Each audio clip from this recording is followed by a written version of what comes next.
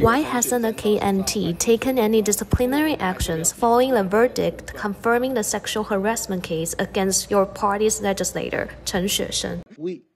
The KMT should be held to a high standard of scrutiny. If elected, I will thoroughly address the DPP's misconduct during their eight years in power, conducting investigations with even greater diligence than the Special Investigation Division.